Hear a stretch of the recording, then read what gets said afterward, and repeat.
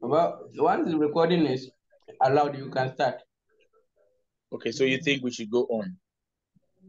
Yes, please. Okay.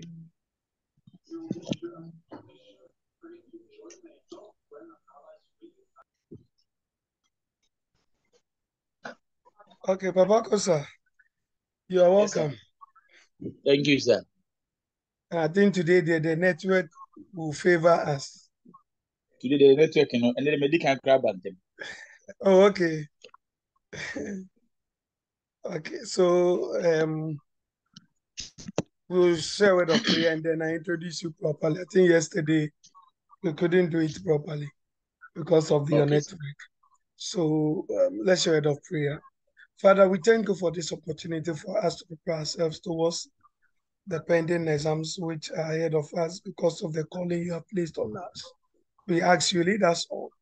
Father, grant our facilitator all that he needs, the strength and everything that will enable him teach us well. We also pray that you grant us the grace to understand and to reapply it whenever the time comes. In Jesus' name we pray thanksgiving. Amen. Amen. Okay, so my dear brothers and sisters, we are fortunate to have Reverend George Kosa to be our facilitator for the New Testament um, uh, classes.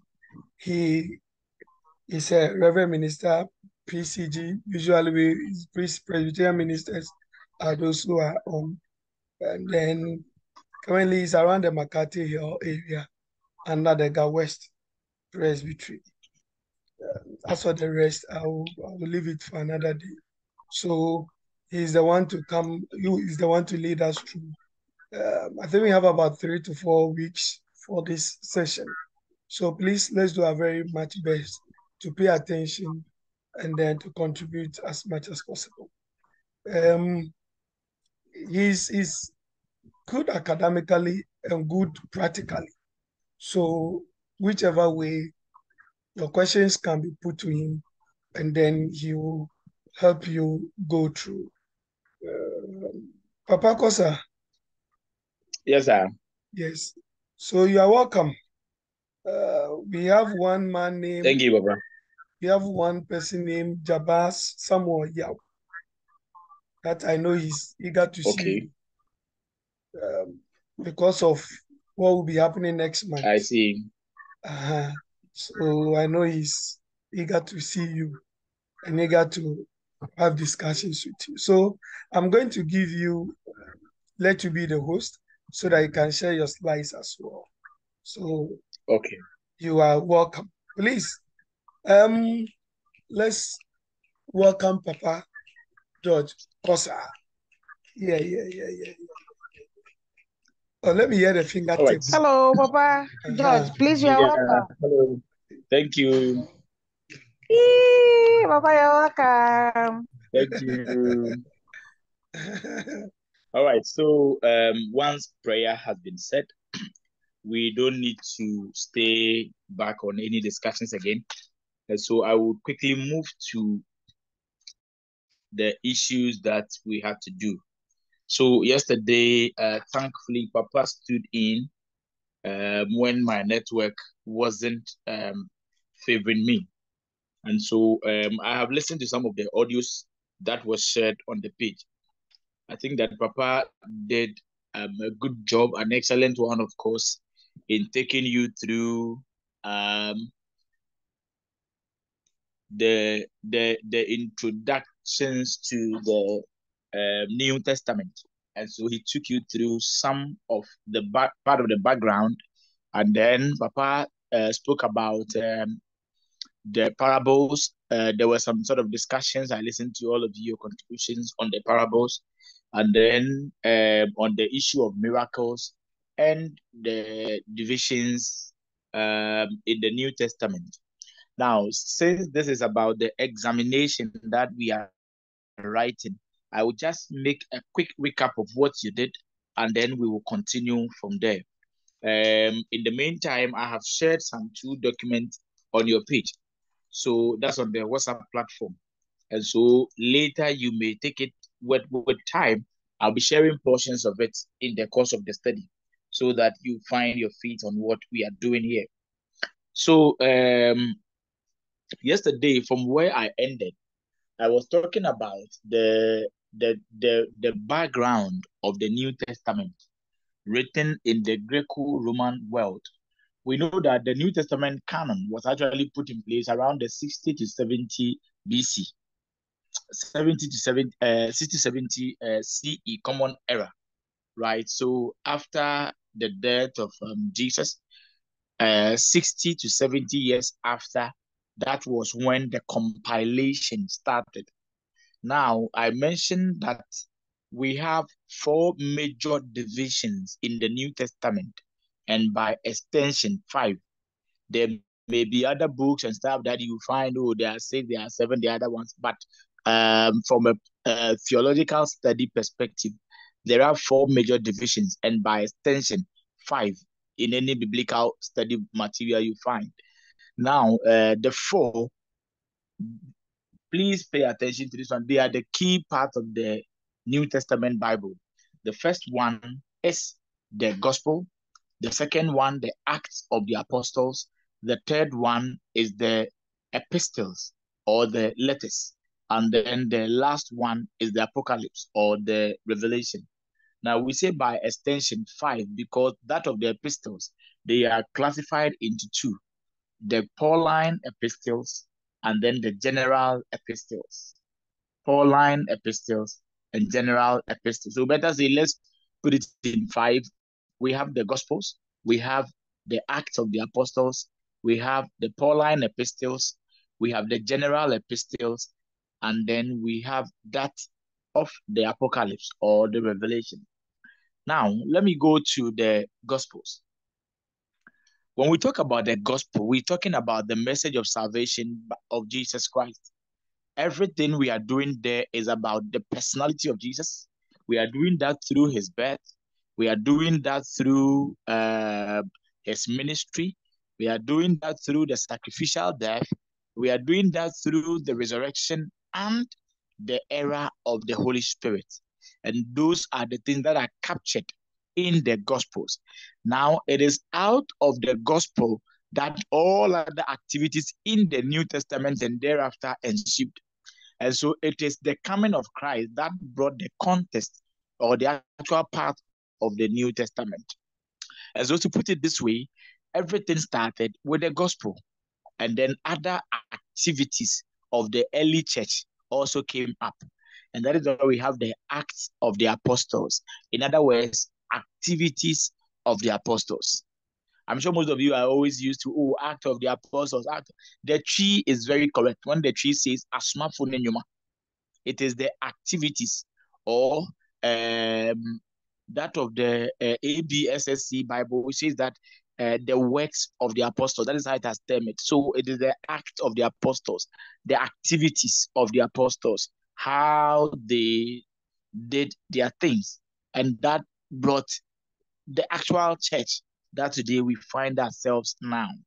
And so, starting from the gospel again, um, we have the gospel in two forms. We have what we call the synoptic gospels, and then we have the Johannine literature. When we talk about the word synoptic, optic means sight. For those of you with little science background, you know that optics, we are talking about sight. And so synoptics, same optic or same view or same sight. Basically, that is what we are looking at.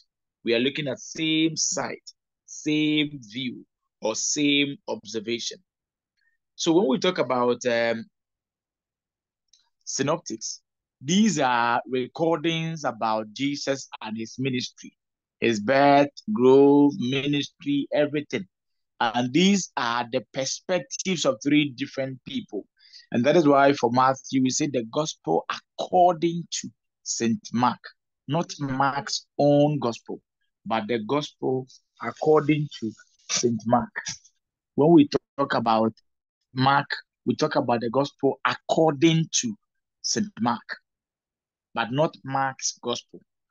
When we talk about um, that of Luke, we say the gospel according to St. Luke the gospel as captured by a particular person. Now, those ones, they all wrote about Jesus and his ministry, but they wrote it from different perspectives. They wrote them from different perspectives. And that is why we call them the synoptics, same optic or same view. All right. The same issue that they have all brought, even though they are from different perspectives. You take um, the story of um, the temptation of Jesus Christ after the period of 40 days fasting. You read that one in Matthew chapter 4. You go to the other um, um the gospels, and some of them, I think the Matthew gospel concept is about eight verses. You go to some of the other ones, and it's just about two or three verses. And so the distinctions are clear. It also talks about the interest of the one who is recording. Okay, it talks about the interest of the one who is also recording. And so all those ones are things that we will be taking note of as we progress with our study of the New Testament. Now, interestingly, when we talk about um, the synoptics, we are also looking, apart from the story of Jesus' birth and ministry, we are looking at the teachings of Jesus through the use of parables. And so we are going to look at all the parables of Jesus. We are going to look at all the parables of Jesus all the parables of Jesus. We are going to look at all of them. We are going to look at all of them. And then we will discuss them one by one. We are looking at uh, the uh, significance of those items to us. We are looking at um, um, how they can be applied. And we are looking at how it is impacting uh, we are looking at how it is impacting or affecting the life of the today's Christian. And so we are looking at how it is applicable. We are looking at its relevance. We are looking at at that time when it was said, what was the meaning? And then we are also looking at it from a social point of view. How is it reflecting in society? How is it benefiting society? And so all those ones are coming into play once or we as we continue to do it um, the the synoptic gospels. Please tell the baby to sleep. It's it's it's late. It's late. Eight baby is All right, so let me continue. And so um we have in all different um, parables that were given by Jesus. It is also important that at this stage you would have an idea of all the parables of Jesus. You know, it's almost about 46 parables. It's almost about 46 parables. The new cloth and an old uh, coat, uh, new wine in old wineskin, lamp on a stand, wise and foolish builders, money lender forgives unequal debt, lamp on a stand, rich man foolishly builds bigger barns, servant must remain watchful, wise and foolish servant, unfruitful fig tree, sower and the four types of soil. Yesterday, Papa took you through. I, I enjoyed the discussion actually when I listened this morning. Weeds among good plants, that's the kingdom of heaven. Growing seed, can also in kingdom of heaven. The mustard seed about the kingdom of heaven, and the yeast also about the kingdom of heaven. The hidden treasure and the valuable pearl, the fishing net, owner of a house, all those ones about the kingdom of God. And then lost sheep, the story of the lost sheep. The sheep the gate and the shepherd, uh, the master and the servant, or merciful servant, the good Samaritan, friend in need, lowest seat at the listen, invitation to all those ones are there. All those ones are there. The lost coin, the prodigal son. The story of the prodigal son is one interesting part. Those of you who have read the SMT past questions, you see that most of the year they bring that story of the prodigal son. It looks like most people do not get the interpretations right. Uh, uh, we interpret it to suit mostly the, the program that we are doing. And when it's time for evangelism, we read part of it, then we interpret it in our own way. But it has its own theological underpinnings. With time, we'll be discussing, we'll be learning those ones. The shrewd manager, the rich and uh, the rich man and Lazarus, workers in the vineyard. I have actually shared what I'm saying on the WhatsApp platform. And so all of you would have access to it. I have shared it there so that you can all have access to it. And so uh, once you you you go there, you find this one there.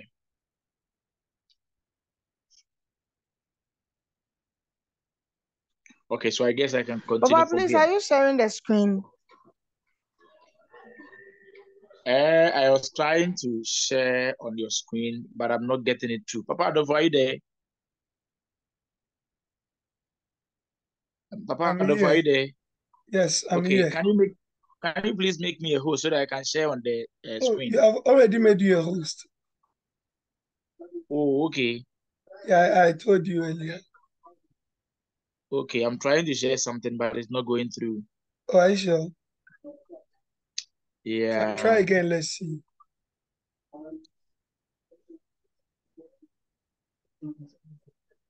Um,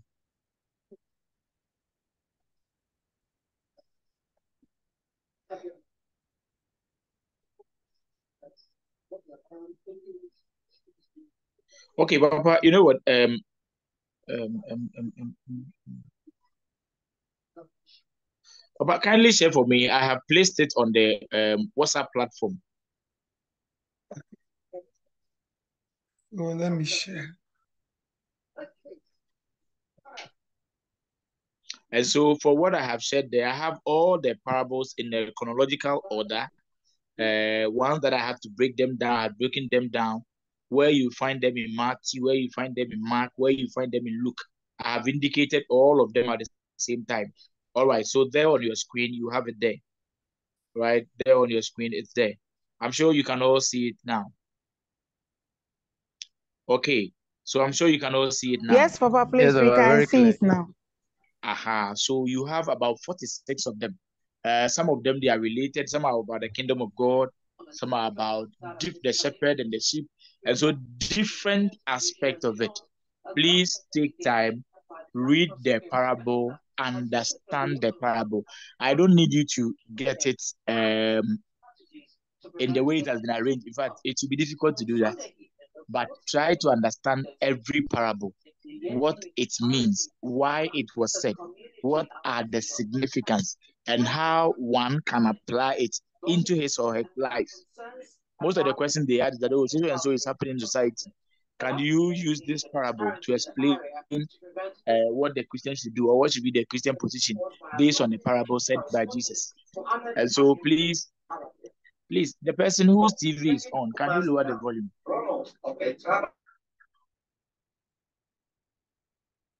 All right, thank you. And so you try and then get all those ones right. Um, a lot has been put up on that one. Please try and get it right. Let me give an example.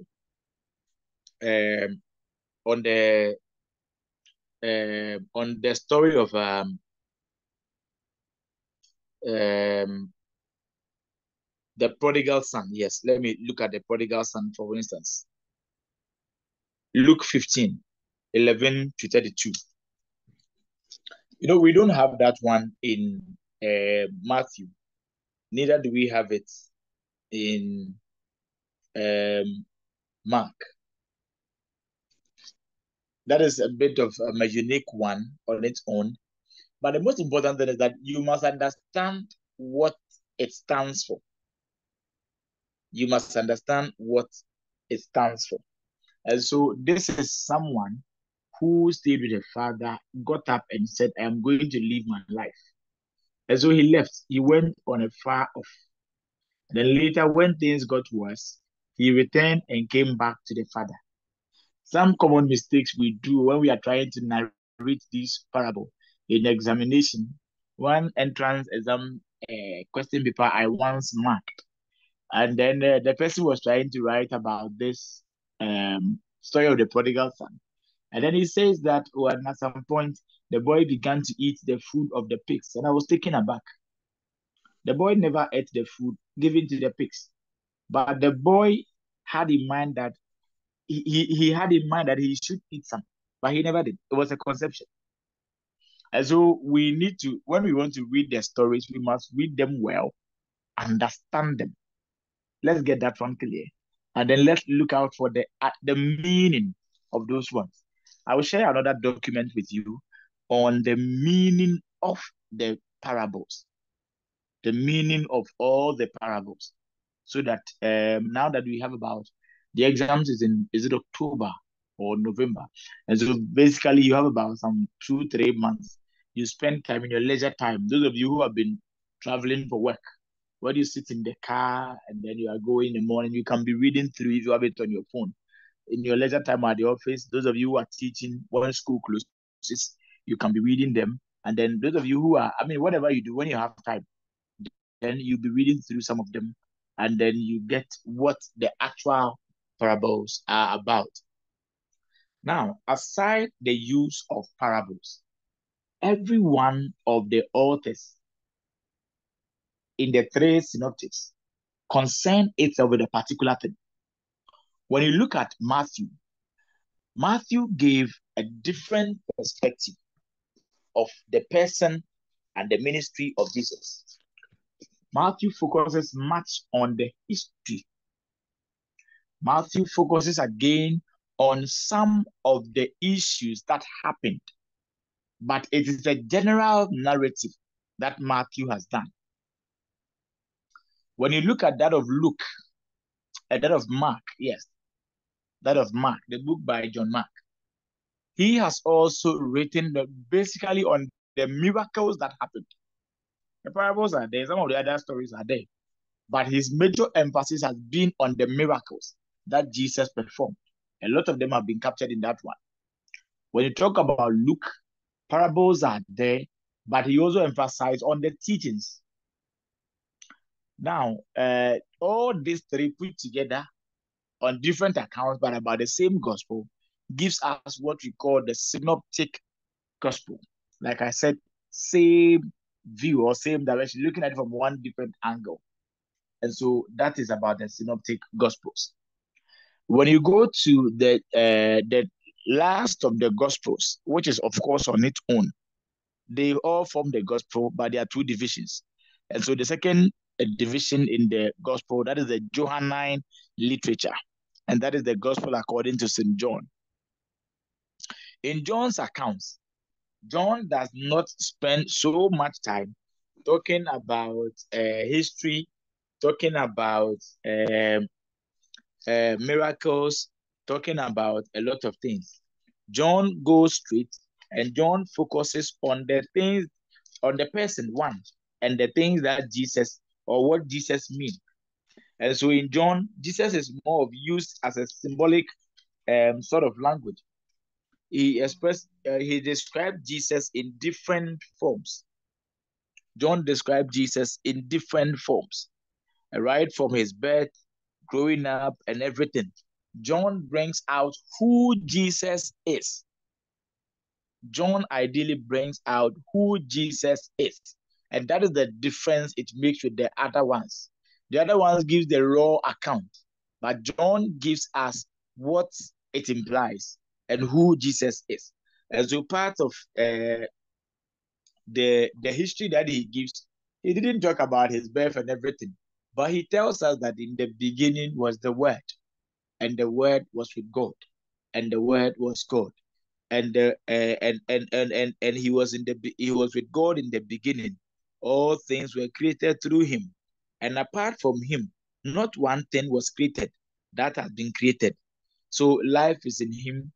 Everything, everything, everything, everything. John gives that account and that description. And so for John, everything is about Jesus, and Jesus is everything. And that is why in John's gospel, we find the story of, oh, uh, Jesus is uh, the way, the truth, and the life. Uh, Jesus is the bread of life. Jesus is the living water. Jesus is uh, the the the resurrection. Jesus is the uh, I mean a lot of things that John gives. For John, he, he gives his testimony about Jesus. Unlike the other one that are giving us the report or the account of what happened, John is giving us his own uh, uh, his own uh, description of Jesus, the person Jesus, who he is. That is the distinction, and that is why it is not or it is different from the other three. I'm sure your, your attention might have come to a lot of things that he has written. I am the bread of life. When people are thirsty, he says I am the living water. When he says that, he says, I am the way, the truth, and the life. When somebody is dead, he says that, oh, I am the resurrection. You know, he says, I, I, I am the true vine, and my father is the husbandman, John chapter 15. And so he goes on and on and on and on to tell us a different part of it. And so those are key issues we can have once we talk about the gospel. Now, when we go to the story of um or the book of um, Acts, like I've said, we can if you don't want to simply say act, you can say the activities of the apostles. Almost all the book writers have shortened it to the act, but basically you're looking at the activities of the apostles. And so here as we all know, it was also written by Luke. It was also written by Luke. The same uh, medical doctor wrote that one too. And here he chronicles life after the death of Jesus. He chronicles life after the death of Jesus. So whilst they were gathered out of fear and um, anxiety and everything, uh, the Holy Spirit comes upon them before then, when Jesus had appeared to them, they saw him being taken away from the one. Uh, ye men of little faith, why, ye men of Galilee, why do you stand here watching into the skies? The same Jesus as you see him, uh, the same way will he come again. And blah, blah, blah, blah, blah, blah, blah, blah, blah, blah, blah. And then when you go to the chapter 2, we find the Spirit of the Lord coming upon the people. Chapter 3, where the declaration, they speak, a lot of people give their lives and all that and all that and all that that happened and everything that happened in the book of acts of, of, the apostles. Technically the book of the acts of the apostles is the story of the early church. It is the story um, that has become the heritage of the church. Our traditions and everything most of them are founded from that one. Even though uh, in the other epistles we get most of the practices and the teachings of the church there. But the book of uh, Acts tells us a lot of things that we need to know as a church and as Christians. And that is why it's important for every Christian to ideally understand what the book of Acts is about. Basically, um, uh, we start with the story of um, Jesus' ascension. We go to the Pentecost story. We go to the healing of the lame man. Remember that silver and gold we do not have, such as we have is what we give you. In the name of Jesus, rise up and walk. I'm sure you should be able to, able to interpret. And if you are asked how it applies in our lives, you should be able to get the stories and everything right, the narrative. Even before Peter is arrested, he faces the Sanhedrin and everything don't forget that the, that chapter is very important. That is what we talk about. Um, um, Peter challenging them, asking them, "Is it right for us to listen to um, the, the the the the the the chiefs and the the the priests and the governors and those people rather than listening to God?" And it is in that same area that um, they talk about um, uh, there is no name given on earth or in heaven through which man might be saved. And so they are being persecuted ideally for the person that they have healed. In chapter 5, uh, we, talk, we see the Ananias story and then uh, where he lied and all those things came. And then we also see the apostles doing more signs and wonders, and then they coming out of prison, and then the, still the trial goes on. Um, one is choosing to come and then uh, serve with them in chapter 6 Stephen's sermon is found in chapter 7. We find um, the patriarchs of Egypt also there. We find the expansion of the church, Saul the persecutor, and all those ones from the chapter 8. And all and all and all the Damascus Road experience in chapter 9. We find the story of. I am sure that when you take your Bibles, you know all these ones and you understand them better.